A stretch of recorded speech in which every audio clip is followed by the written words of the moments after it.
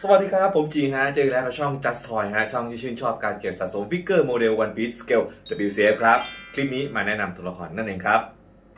ตัวละครที่มาแนะนำในวันนี้นั่นคือ p o t i c u s DS ครับผม อืม Ace นะครับ ก็ถือได้ว่าเป็นตัวละครที่แฟนๆวันพีซนี่ชอบมากนะฮะผม S นะครับผมเป็นลูกของโกลดีโรเจอร์นะฮะ ซึ่งตอนเด็กๆ S เนี่ยก็คือ ถูกเลี้ยงดูมาจากชนภูเขานะครับ โดยก้าวเอาไปฝากไว้ร่วมกับลูฟี่แล้วก็ซาโบนะฮะ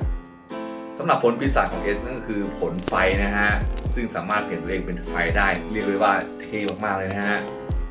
สำหรับผลไฟเนี่ยเขาก็ได้มาแบบบังเอิญนะก็คือเขาไปติดเกาะล้างนะครับผม แล้วก็ไอ้ผลปีศาจลูกเนี้ยก็ลอยมาติดเกาะนะครับ ซึ่ง S ตอนนั้นเนี่ยคือมีอะไรก็ต้องกินอะไม่งั้นเดี๋ยวจะตายคืออดตายอะเออ ก็เลยได้กินแล้วก็กลายเป็นว่ามีพลังเฉยเลยนะครับผม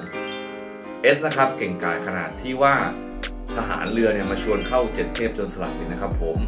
ซึ่งเขาก็ต้องการที่จะเป็นอันดับหนึ่งของจนสลัดให้ได้นะฮะก็ได้ไปท้าดวลกลุ่มสลัดหนวดขาวนั่นเองครับผม ไปสู้กับหนวดขาวเนี่ยแล้วก็อย่างที่เพื่อนรู้คือเขาเข้ากลุ่มหนวดขาวใช่ไหมแต่ก่อนที่เขาจะเข้าเนี่ยเขาสู้กับหนวดขาวมา100 ครั้งเลยนะ เออ สู้กับ 100 ครั้งเลย ก็จะตัดสินใจสลายกลุ่มแล้วก็เข้ากับหนวดขาวนะครับ เนื่องจากว่าหนวดขาวเนี่ยชนะ S ใช่ไหมแล้วก็ลูกเรือของ S นะจริงๆอะคือต้องถูกฆ่าหมดใช่ไหมแต่ว่าหนวดขาวเนี่ยก็คือรับเข้าเป็นสังกัดไว้นะครับ